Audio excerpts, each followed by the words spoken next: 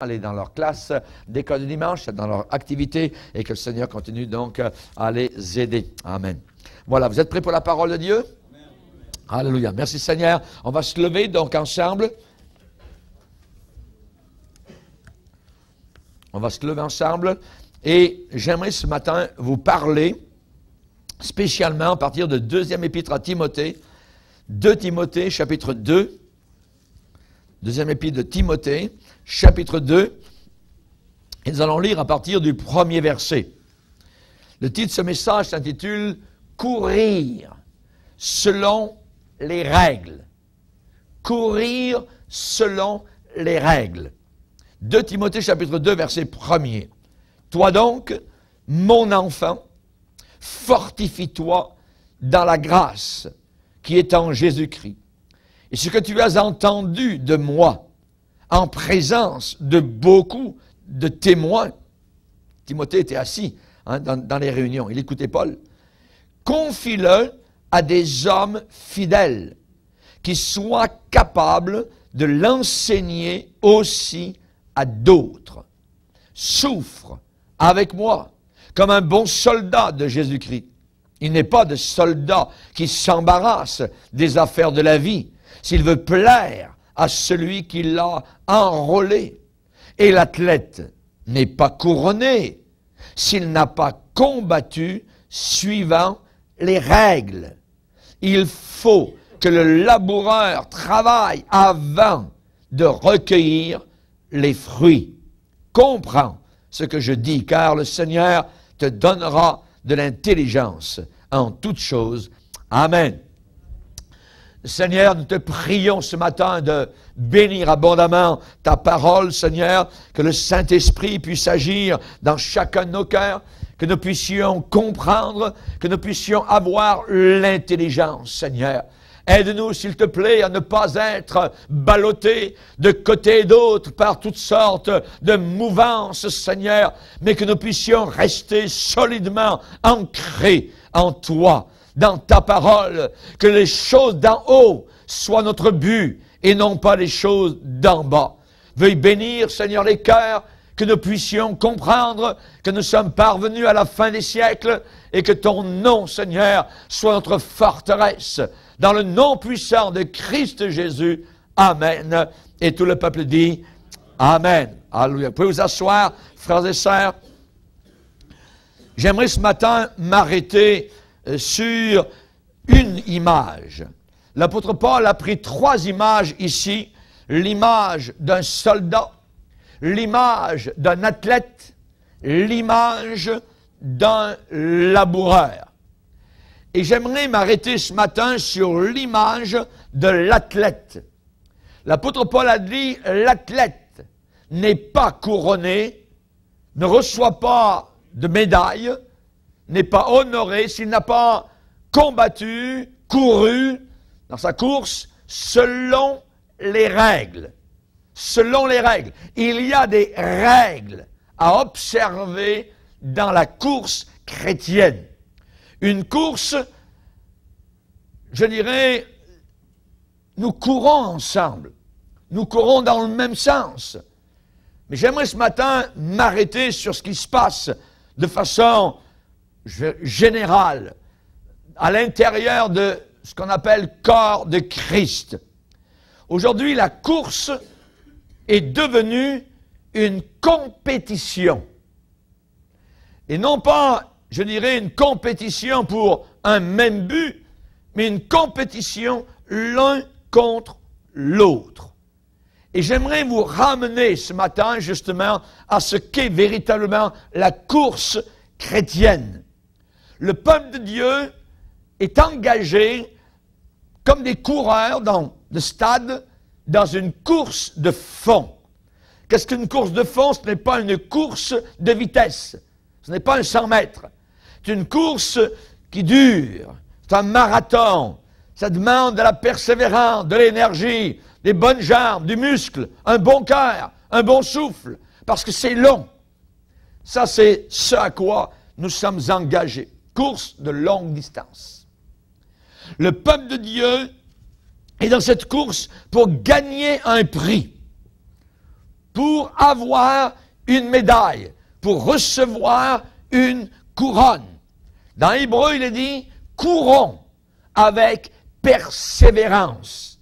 Ça veut dire courons avec patience, persévérance, la course qui est placée sous notre regard. Courons cette course, la bonne course. Voyez, l'athlète est couronné s'il a couru selon les règles du stade.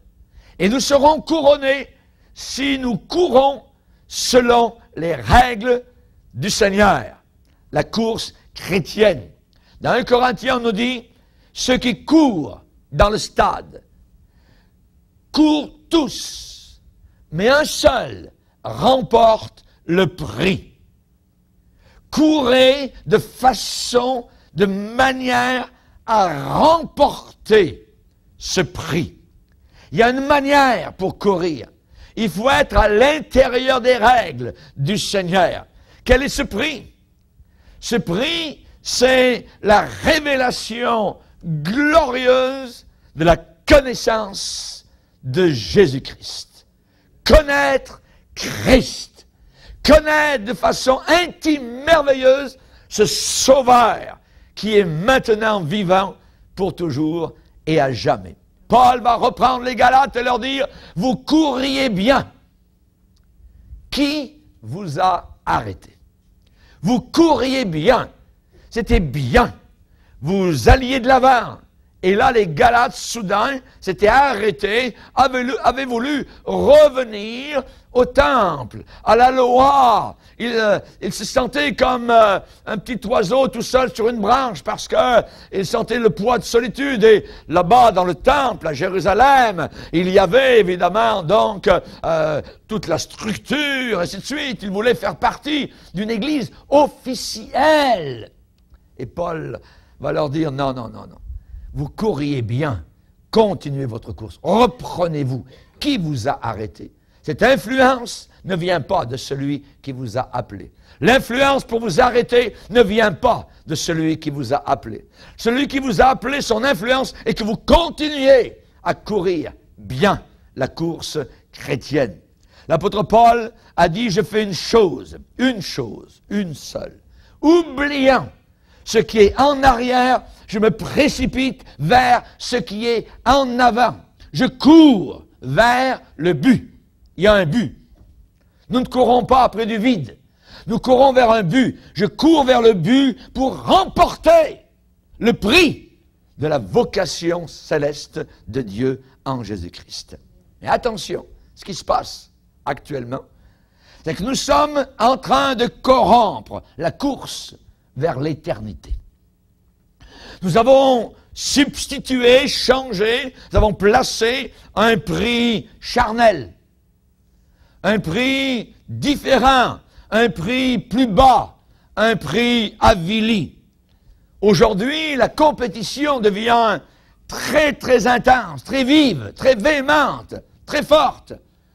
Et c'est maintenant ce n'est plus la, course comme avant, c'est la compétition. C'est le peuple de Dieu qui est en compétition les uns contre les autres. Et ça, Dieu ne le veut pas. Il veut que nous courions de la bonne manière. Aujourd'hui, le prix n'est plus le prix que l'apôtre Paul cherchait. Le prix aujourd'hui, c'est le succès que l'on recherche. C'est la réussite, c'est la prospérité, c'est les applaudissements, ce sont les acclamations, ce sont des louanges personnelles que l'on veut recevoir. Jésus-Christ, dans cette course nouvelle, n'est pas plus qu'un, je dirais, un, parrain, une sorte de parrainage, un sponsor, si vous voulez, pourrait, je dirais, simplement aider ceux qui courent dans cette nouvelle course, voyez?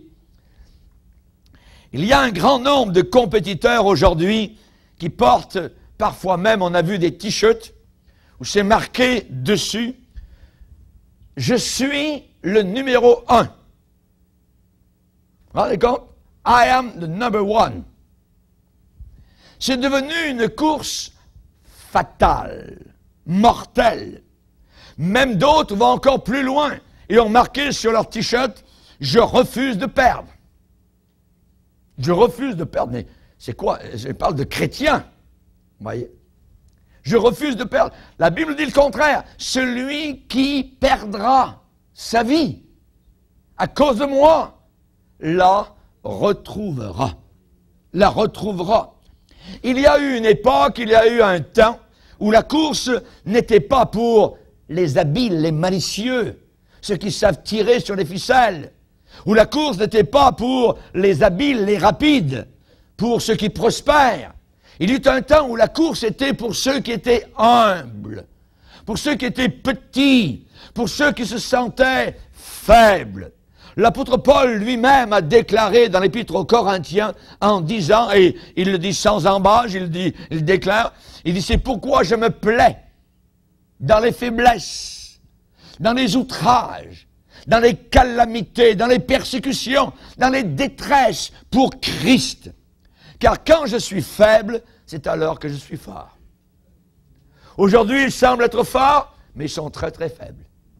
Ils ne veulent pas perdre leur vie. I am number one. Je refuse d'être un loser. Chers amis, ce matin, j'aimerais vous dire que vous n'y arriverez jamais si vous n'êtes pas un loser. Il faut perdre pour gagner la course chrétienne. Il faut perdre, voyez. Il y a eu un temps où la course, évidemment, conduisait à la persécution. Absolument. Si vous deveniez chrétien, si vous engagez dans la course chrétienne, vous alliez être persécuté. Vous alliez recevoir la moquerie. Cela voudrait dire parfois même des privations. Jésus a dit, heureux serez-vous lorsqu'on vous outragera, qu'on dira de vous toutes sortes de mal, de fausseté, à cause de moi. Ça, c'était la course, la vraie. Il y a eu un temps où la course, eh bien, nous conduisait à même parfois se faire dépouiller de ses propres biens. Faire dépouiller ses propres biens. C'est l'auteur de l'Épître aux Hébreux qui va dire, vous avez accepté avec joie l'enlèvement de vos biens. Une très grande persécution était arrivée et les chrétiens, eh bien, s'étaient vu imposer l'enlèvement de leur maison, de leurs biens, euh, de leurs chevaux, de quoi que ce soit, de leurs chars. Vous avez accepté avec joie, avec joie, l'enlèvement de vos biens. Il y a eu un temps où la course nous conduisait à des difficultés. Jésus l'avait dit, vous aurez des tribulations dans le monde, des épreuves. Mais prenez courage, j'ai vaincu le monde. Il y a eu un temps où la course nous conduisait à des calomnies que l'on recevait. Jésus a dit, et il le dit au travers de Paul, tous ceux qui veulent vivre pieusement en Jésus-Christ seront persécutés. Seront persécutés, tous ceux qui veulent. Si tu veux vivre pieusement en Jésus-Christ, tu seras persécuté. Un jour, je prêchais en Afrique dans un camp de jeunesse. Il y avait deux prédicateurs, moi et un autre. Il y avait un prédicateur qui prêchait un message en disant prospérité, finance, Dieu va vous donner de l'argent, des maisons, des voitures, tout ça. Puis moi ensuite je prêchais en disant attention dans Hébreu 11, rappelez-vous de ceux qui ont vécu dans les cavernes dont le monde n'était pas digne, ces gens-là. Et dans l'audience, cela a créé tout un émoi, parce qu'ils ne comprenaient pas, c'était deux messages contradictoires. Et ça a créé des discussions. Et finalement, euh, l'organisation du camp s'est rendu compte que ce, prédicateur, évidemment, était un prédicateur de prospérité et même il avait euh, empoché un paquet d'argent dans plusieurs églises, euh, là où, euh, dans le pays où je me trouvais, tout ça, et c'était vraiment un fraudeur. Ils ont été obligés de le mettre dehors. Mais vous voyez, deux messages complètement contradictoires. Lui courait la course qui n'était pas la mienne. Lui, il courait une nouvelle course d'aujourd'hui. Prospérité, prospérité, prospérité, succès, applaudissements, Dieu vous veut riche, ainsi de suite. Vous êtes des petits dieux, tout ça. Vous vous rendez compte? Mais ils tordent la parole du Seigneur. Et aujourd'hui, nous avons besoin de savoir que l'athlète ne sera pas couronné s'il n'a pas combattu suivant les règles, s'il n'a pas couru suivant les règles. Dieu ne nous a jamais promis une prospérité matérielle. Jamais. Montrez-moi où Dieu nous a promis une prospérité matérielle. Jamais. Il nous a bénis de toutes sortes de bénédictions spirituelle dans les lieux célestes. Et les païens aussi sont bénis. Ils ont des maisons aussi belles que nous. Ils ont des voitures aussi belles que nous. Et pourtant, ils maudissent Dieu. Et pourtant, ils blasphèment le Seigneur. Ce qui veut dire quoi? Que nos bénédictions supposées matérielles ne veulent rien dire de l'autre côté de l'éternité. C'est la bénédiction spirituelle dans nos cœurs qui est importante. Est-ce que je suis plus proche de Dieu aujourd'hui que je l'étais auparavant? Est-ce que je le sers malgré les persécutions, malgré les calomnies, malgré la solitude, malgré parfois le manque d'argent? Est-ce que je vais continuer à le servir? Vous voyez? Tous ceux qui veulent vivre pieusement en Jésus seront persécutés. Il y a un temps où la course pouvait conduire au martyr, où les chrétiens et ça existe encore autour de la terre aujourd'hui. En Indonésie, dans les pays musulmans, il y a les chrétiens qui se font martyriser par centaines. Par centaines. L'apôtre Paul a déclaré tous ceux qui veulent vivre pieusement. À nous de savoir si nous voulons vivre pieusement. L'apôtre Pierre a encouragé les chrétiens qui étaient persécutés et il leur a dit, ne soyez pas surpris comme une chose étrange qui vous arrive de la fournaise, de l'épreuve dans laquelle vous pouvez vous trouver. Soyez pas surpris, c'est normal. J'aimerais vous décrire ces anciens coureurs qui nous ont précédés dans la course chrétienne et qui aujourd'hui sont dans la gloire. Certains coureurs ne portaient que des peaux de brebis. Ils ne portaient que des peaux de chèvre. Certains ont été torturés ont été lapidés, certains ont été sciés. C'est dans la Bible. Persécutés, battus pour le nom de Jésus. D'autres ont été dénués de tout, maltraités, balafrés. D'autres ont été stoppés, arrêtés, en plein milieu de leur course. On est venu les chercher et on les a amenés au bûcher. Ils sont morts au milieu des flammes, certains au milieu de leur sang. Certains ont été jetés dans le fond de prison, de donjons infâmes, sales. Certains ont eu leurs yeux arrachés. D'autres ont été forcés de regarder leurs enfants torturés sous leurs yeux à cause de Jésus. Pourquoi tous ces coureurs exténués passèrent-ils au travers de tellement d'angoisse, de tellement de souffrance, de troubles, d'agitation pourquoi n'ont-ils pas abandonné la course? Pourquoi n'ont-ils pas lâché? Eh bien, simplement parce que, à leurs yeux, le prix en valait la peine. Le prix céleste en valait la peine. Ils ne voulaient rien d'autre que Jésus-Christ. Rappelez-vous ce que le Seigneur a dit à Moïse, ma présence ira avec toi même si cette présence nous emmène jusque dans la fournaise, cette présence sera encore là avec nous dans la fournaise. Nous sommes en communion avec le Père et avec le Fils. Nous voulons marcher dans la lumière comme il est lui-même dans la lumière. Ces gens-là ne voulaient rien d'autre que Jésus-Christ. Je préfère me tenir à la porte de la maison de Dieu que d'habiter dans les tentes de la méchanceté, disait David à la maison de Dieu, vous entendez le message clair, vous entendez le message de l'éternité, vous entendez le message authentique. Je préfère me tenir là, à la porte de la maison de Dieu, d'être portier à la maison du Seigneur, que d'habiter dans les tentes de la méchanceté. Un jour, un seul dans tes parvis vaut mieux que mille ailleurs. Mille ailleurs. Rappelez-vous les disciples quand ils ont prié pendant dix jours avant la Pentecôte. Imaginez s'ils priaient pendant dix jours, environ 16 heures par jour. Laissons-leur 8 heures pour dormir. Ça dit qu'ils persévéraient dans la prière. Faisaient juste ça. Prier, prier, prier. Ça veut dire qu'en l'espace de dix jours, ils ont été dans la présence de Dieu plus que pendant trois ans d'école de dimanche dans une église normale. en dix jours, plus que trois ans à l'école de dimanche qui dure une heure chaque semaine. Vous vous rendez compte comment elle cherchait la face de Dieu? Avec l'apôtre Paul, ses athlètes, eh bien, considéraient les choses de ce monde comme du fumier, comme de la boue. Paul a dit, je regarde toutes choses comme de la boue, comme de la boue. Ils n'aimèrent pas leur vie, ils aimaient Jésus-Christ. Ils vivaient dans la lumière, ils n'ont pas aimé leur vie jusqu'à avoir peur de mourir. Non, pas du tout.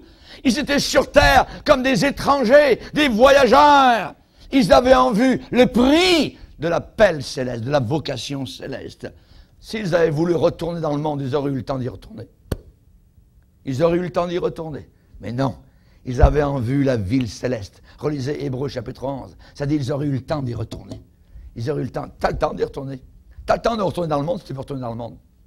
Mais nous, nous n'y retournerons pas. Alléluia. Nous sommes en train de courir, de courir, de courir, de courir, de courir la course avec un prix juste au bout. Alléluia. Merci Seigneur. Ces gens-là couraient de toute leur force vers cette ville dont Dieu est l'architecte et le constructeur. Alléluia. Ils se seraient moqués littéralement de vous, ces athlètes du passé, si vous aviez essayé de substituer les prix charnels d'applaudissements des hommes, des choses semblables. Ils auraient chanté ou crié, prends tout le monde entier, mais laisse-moi Jésus. Prends le monde en entier, mais laisse-moi Jésus. Chers amis, ces gens-là ne cherchaient pas des grandes choses. Dans Jérémie, le Seigneur a dit à Baruch, ne recherche pas des grandes choses. Ne recherche pas des grandes choses. Il est doux et humble de cœur. Vous savez la sorte de course actuellement qui est en train de se développer dans le corps de Christ de la fin des temps? Quel contraste! Quel contraste! Compétition en Amérique, compétition en Europe, au Canada et ailleurs au travers de la radio, des évangélistes, la guerre des nombres et des choses semblables. On est toujours en train de compter les nombres. Ah, combien on était aujourd'hui, combien c'est, combien est ta, salle, combien de pieds carrés, ainsi de suite. Voyez, il y a une compétition inimaginable entre pasteurs, évangélistes, entre chrétiens parfois pour bâtir la plus grande église qu'on n'aura jamais vue, inhabituelle. Là, on aura nos quartiers chefs, nos, euh, nos, nos, nos QG, ainsi de suite, voyez. Il y en a d'autres qui offrent à des stations de radio plus d'argent pour que l'autre puisse s'en aller, ainsi de suite. Ou à la télévision, ainsi de suite. Toutes sortes de choses qui, se passent.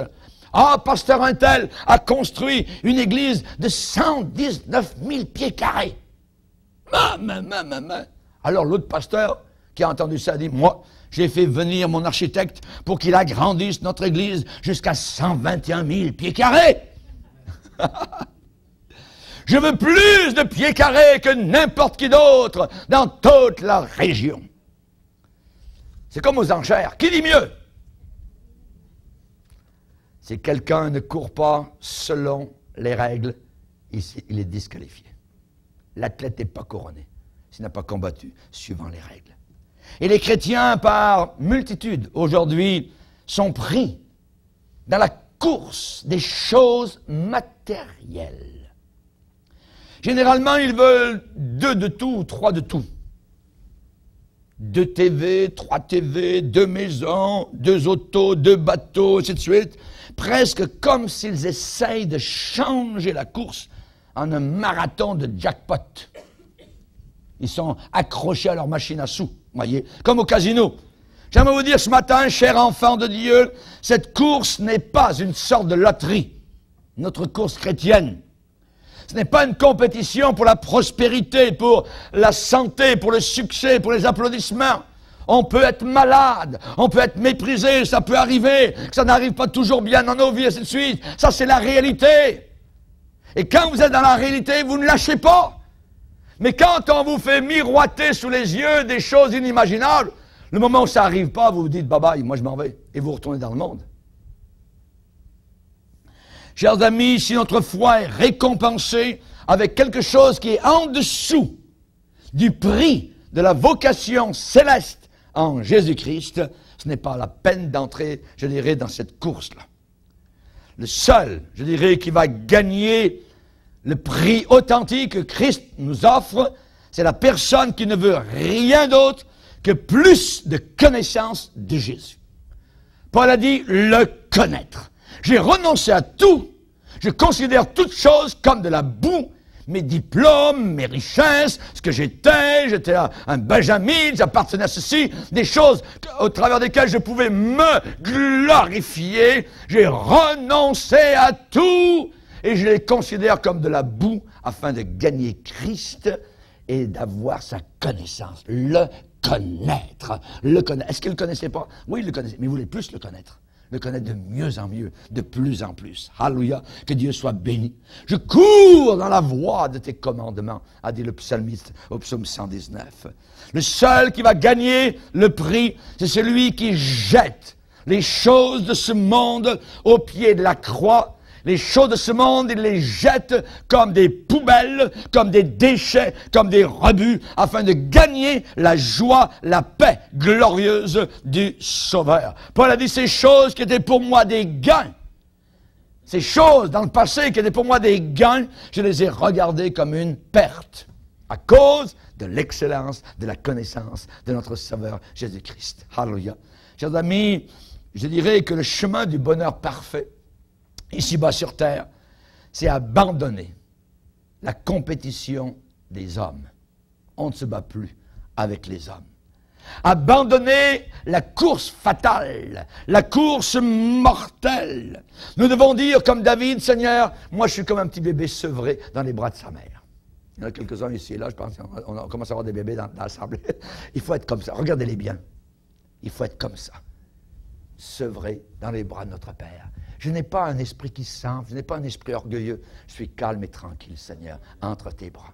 Fini les compétitions, fini les courses fatales, les courses mortelles avec les hommes. Maintenant, je veux simplement reposer en toi, Seigneur. Je veux gagner le prix de la vocation céleste. Amen. Gloire au Seigneur.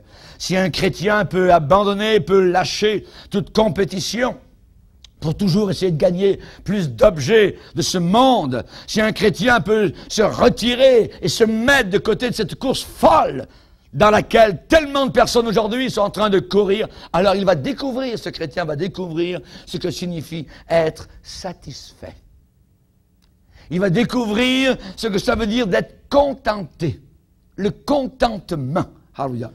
Le chrétien qui s'éloigne de la course charnelle peut dire à tous les compétiteurs, partagez entre vous vos prix, vos applaudissements, vos richesses, gardez-les, moi je quitte votre course. Amen.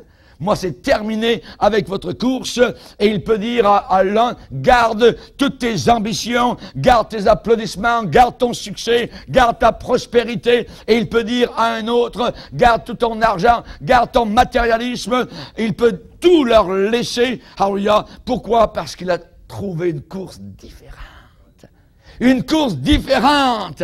Cette course n'a qu'un seul prix, la gloire de Dieu en Christ Jésus. Alléluia.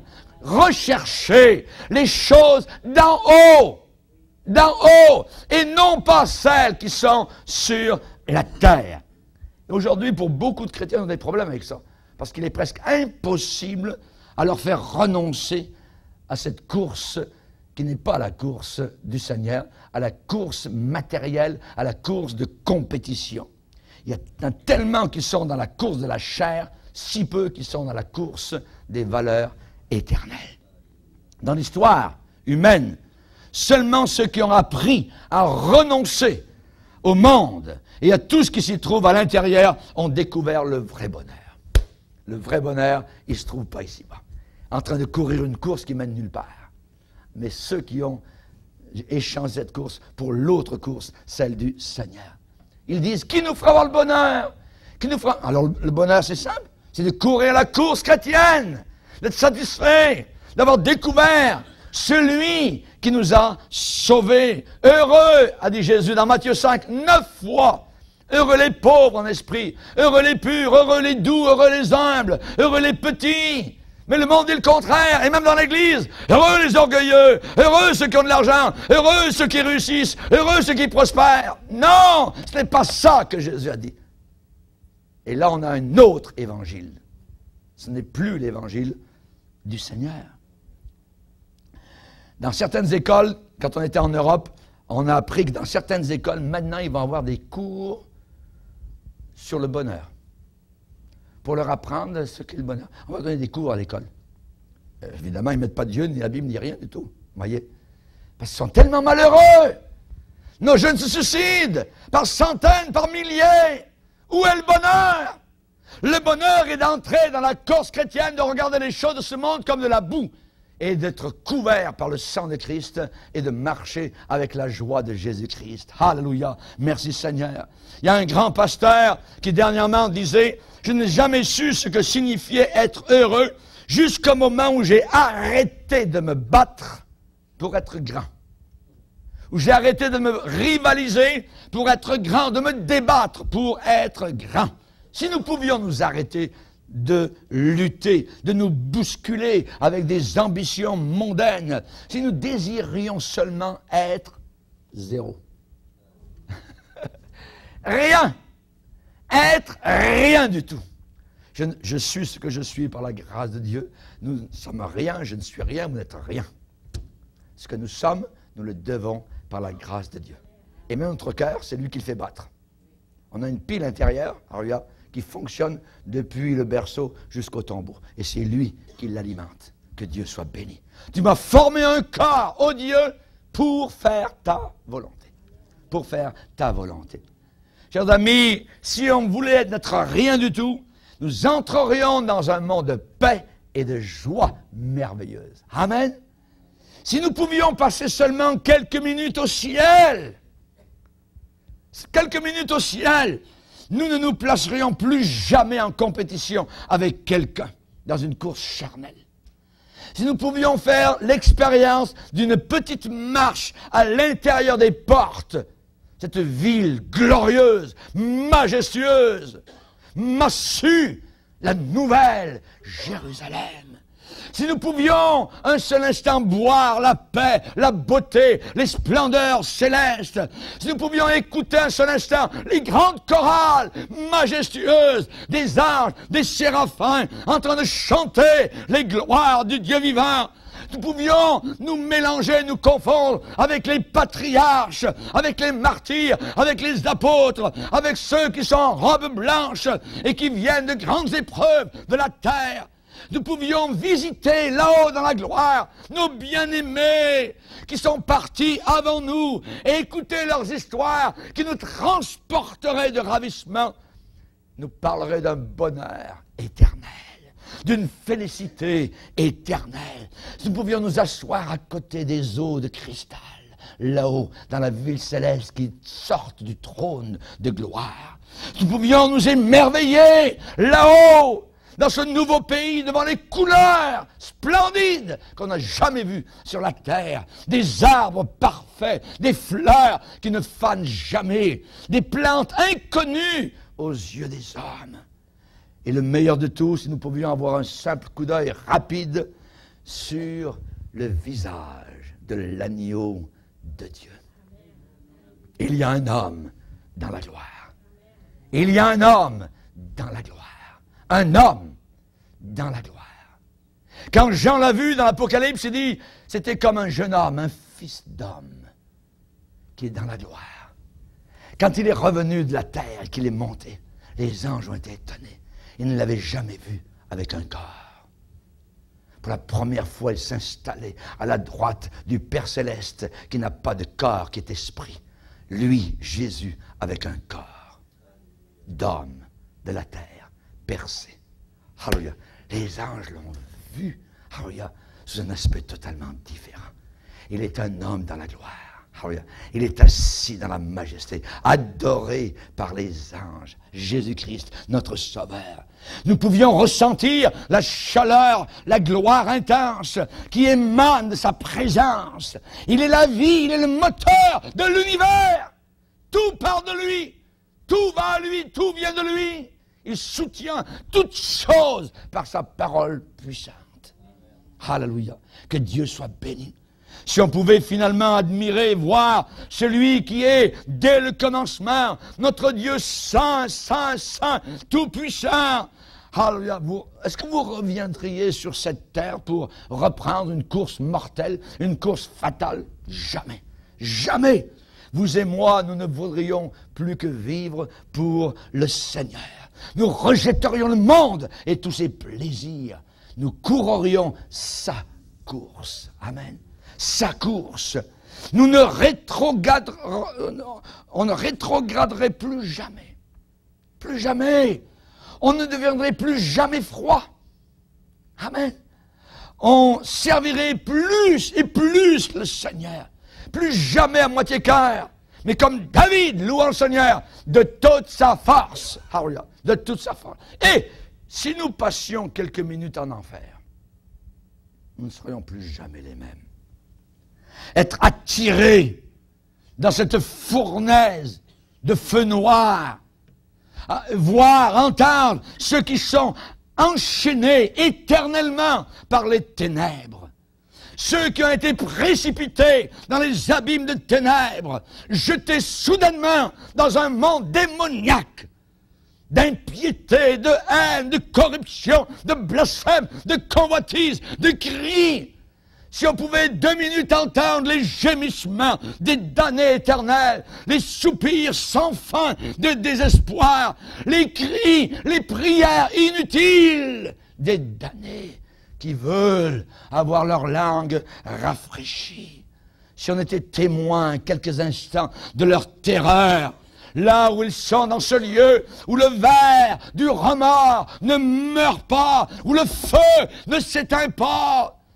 Si on voulait juste marcher frayé avec les ouvriers d'iniquité, à qui Jésus a dit, retirez-vous de moi, ouvriers d'iniquité, si on voulait juste être là avec les violeurs, avec les meurtriers, avec les homosexuels, les lesbiennes, les religieux qui ont fait fi de Dieu, les dictateurs de ce monde, avec les tyrans, avec ceux qui ont crucifié le Seigneur Jésus-Christ, avec ceux qui ont serré le poing sur la terre contre Dieu, avec ceux qui ont blasphémé le nom du Seigneur, avec ceux qui sont dehors de la présence du Seigneur. Si on pouvait ressentir ce que le mot perdition veut dire. Perdition. Être coupé totalement de Dieu, de la vérité, de l'amour, de la lumière, de la paix. Être coupé de toute consolation pour l'éternité. Dans 100 milliards d'années, ce sera pareil être coupé de Dieu, de tout réconfort, de tout soulagement, de tout bien-être, avoir des visions de l'enfer incomparables, des scènes au-delà de toutes les atrocités de ce monde ensemble. Le pire de tout, se tenir face à face avec le boucher sanglant de l'enfer, Satan lui-même, et ressentir dans votre cœur une peur soudaine, une peur asservissante, alors que le père du mensonge est en train de vous prendre par le collet, il, vous prend par la gorge, et il, veut, essaye de tirer de vous, vous, vous faire dire une confession que c'est lui qui est le Seigneur de tout. Imaginez, en train de marcher et de sortir de l'enfer en passant au travers des portes avec à vos oreilles les cris des damnés pour l'éternité, qui sonnent encore à vos oreilles avec les voix des impies de tous les siècles, en train de mugir, de tonner, de brailler, avec des cris misérables. Nous sommes perdus, nous sommes perdus, perdus, perdus pour toujours, enchaînés à l'obscurité, aux tortures éternelles.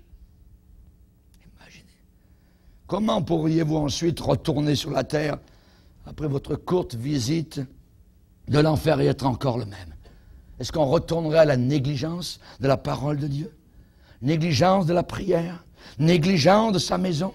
Négligence de son amour? Est-ce qu'on continuerait encore avec nos buts égoïstes à accumuler, à amasser de l'or, de l'argent, demandant toujours à Dieu de nous bénir encore plus, encore plus, encore plus? Je ne pense pas.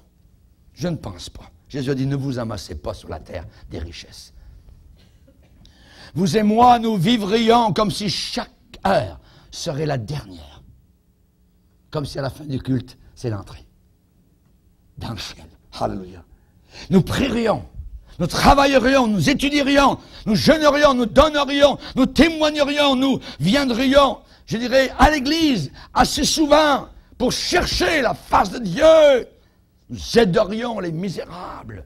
Nous attendrions constamment le retour, notre Sauveur Jésus-Christ. Alléluia.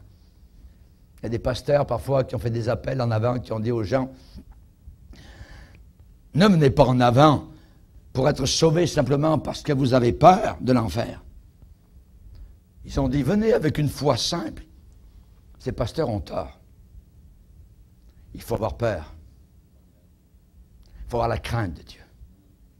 Quelque chose de terrible dans l'au-delà.